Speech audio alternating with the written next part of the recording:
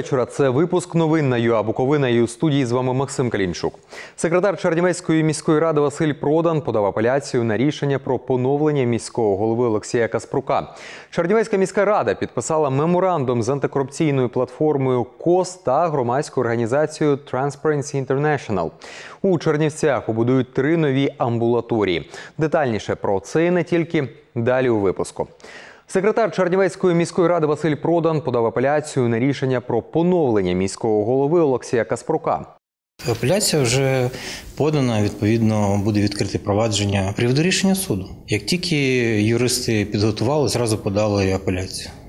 23 квітня Чернівецький окружний адміністративний суд поновив Олексія Каспрука на посаді міського голови. У судовому процесі були три сторони: позивач Олексій Каспрук, відповідає Чернівецька міська рада та третя сторона Василь Продан. Продан виконував обов'язки міського голови після того, як Олексій Каспрук достроково припинив свої повноваження. Водночас Олексій Каспрук планує оскаржити один з пунктів рішення суду, яким його поновили. Він не погоджується із тим, що секретар міської ради Василь Продон не мав конфлікту інтересів, голосуючи за його відставку. Я буду оскаржувати в апеляційному суді. Це те, що нібито у продана не було конфлікту інтересів під час голосування за дострокове припинення повноважень міського голови. Я переконаний, що є.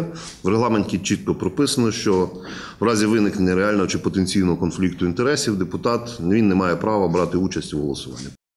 Секретар міської ради Василь Продан каже про конфлікт інтересів, заявляв письмово і усно на сесії. Вважає, що голосуючи закону не порушував.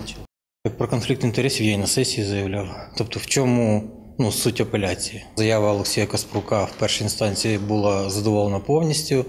Відповідно, жодних причин подавати апеляцію, крім того, щоб затягувати процес і мати можливість робити інших мотивів в цьому немає. В судовому рішенні йдеться про те, що Василь Продан, готуючи проєкт рішення про відставку, заявляв про конфлікт інтересів. Також суд вирішив, що конфлікту інтересів не було під час голосування за відставку міського голови. Нагадаємо, 26 липня минулого року 29 депутатів проголосували за дострокове припинення повноважень міського голови Олексія Каспрука. Проєкт рішення про його відставку зареєстрував Василь Продан. Після відставки Каспрука він виконував обов'язки міського голови Чернівців. Чернівецька міська рада підписала меморандум з антикорупційною платформою КОС та громадською організацією Transparency International. За цим документом тепер на порталі Прозора платформа публікуватимуть інформацію про експлуатацію будівництво та ремонт доріг міста. Платформа вже розроблена, і незабаром міська рада почне оприлюднювати перші відомості. Сьогодні ми підписуємо меморандум з містом Чернівці. У нас вже підписано меморандум з облдержадміністрацією, який ми нещодавно підписали. І після цього відразу ми починаємо е, тренінг щодо корупційних ризиків, управління якістю і ризиках пов'язаних з закупівлею таких будівельних проєктів. Сподіваюся на плідну співпрацю.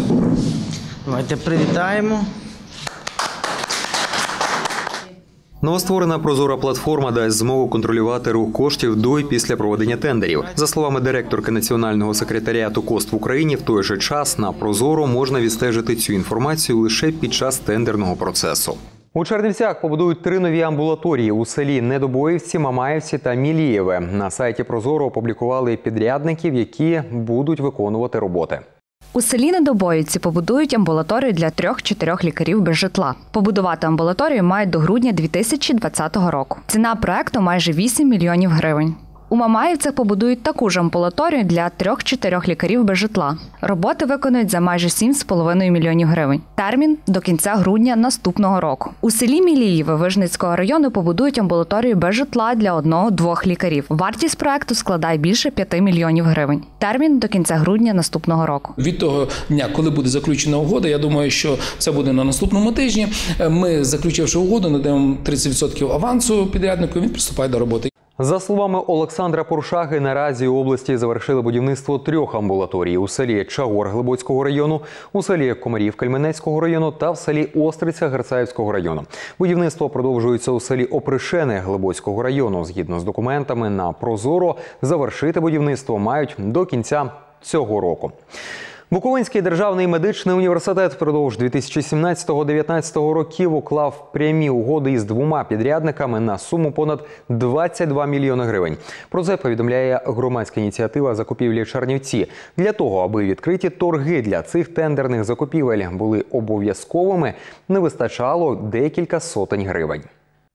Буковинський державний медичний університет уклав прямі угоди із підрядниками без тендерів, бо ремонтували невеликі об'єкти, каже ректор університету Тарас Бойчук. Їх багато цих об'єктів, вони невеликі. Ви ж бачите, що в медичному університеті більшість кафедр розташовані або в клінічних корпусах, або якщо це власні будівлі, це невеликі будівлі. Там обсяги ремонтних робіт не перевищують півтора мільйона. Є певні обмеження в термінах проведення ремонтних робіт. Це тільки може здійснюватися в канікулярний період.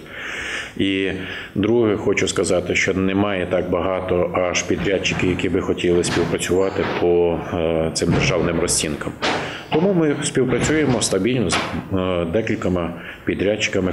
24 договори на загальну суму майже 12 мільйонів гривень університет уклав з підрядником Василем Житарем впродовж 2017-2018 року. Цей підрядник ремонтував гуртожиток на вулиці Марії Заньковецької. Ми знаходимося біля гуртожитку номер 1 Ремонт був в е, попередньому році підрядною організацією Житар. Повністю зроблений капітальний ремонт фасаду, замінена покрівля.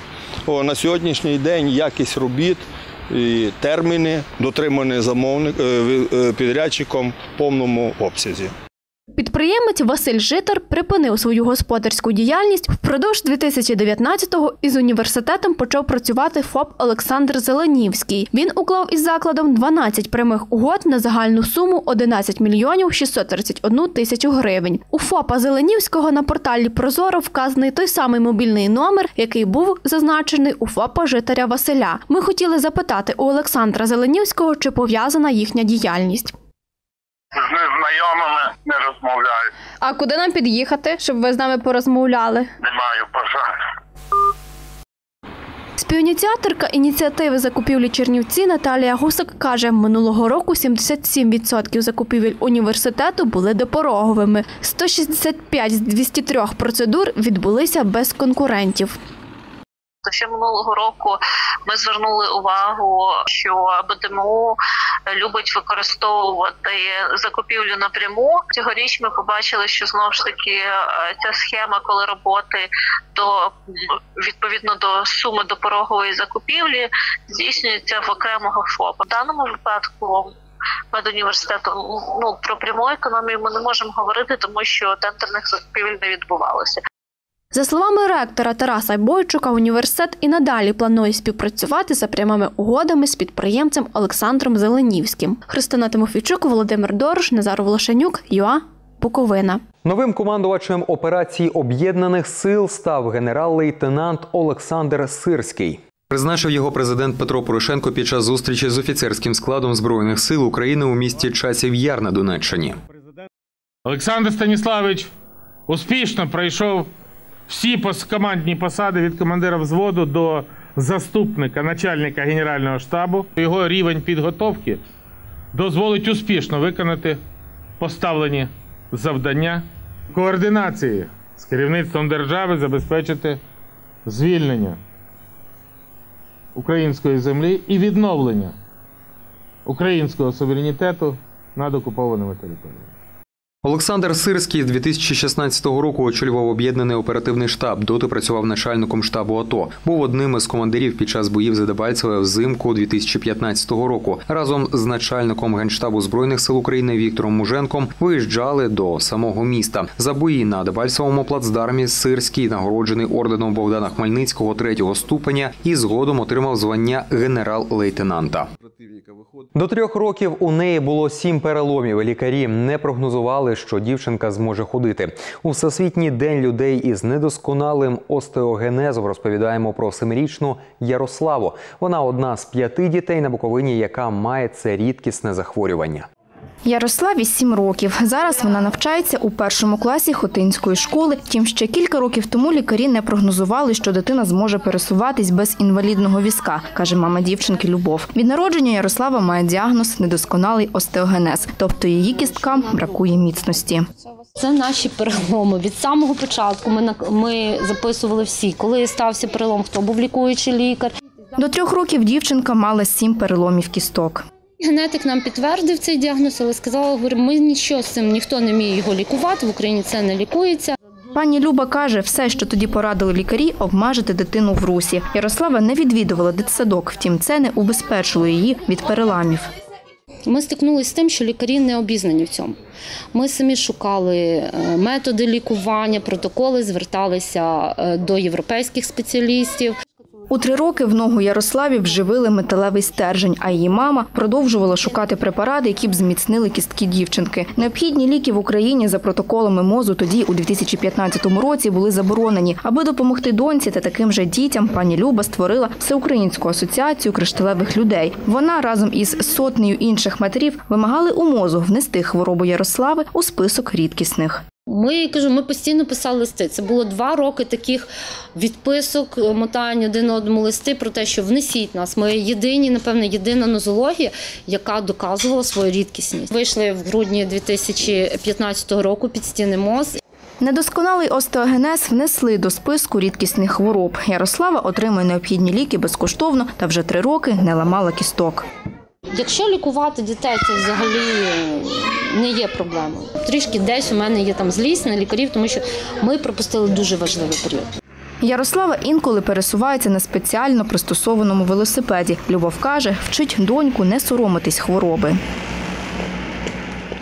Щоб Слада пішла до школи, ми про це дуже дуже мріяли. Довго наважувалися, довго обирали школу. Ми хотіли брати таку, де би було менший ризик сладі травмуватися. Чи то сходи дуже важливо теж, щоб майданчиків було менше. Вони знають, вони підходять, кажуть, ми її трішки обіймемо. Вона взагалі така активна, вона дуже цього хотіла. Для неї от вона в школі, вона з дітками, вона розповідає, в неї тут друзі. Не те, що це якась кришталева ваза, там її не трогайте, з нею не спілкуйтеся. Ні. Вони поклали, вона така сама, як ви, але ось тут от бігати з нею треба обережно, не підшпортувати, як би ви не хотіли. Якось от навчили дітей теж жити з нею, розуміючи, що вона така сама, як вони, тільки от з маленькою якоюсь особливістю. Вікторія Танасійчук, Володимир Дорош, Юа Буковина. На цьому наш інформаційний випуск завершено. До зустрічі в ефірі.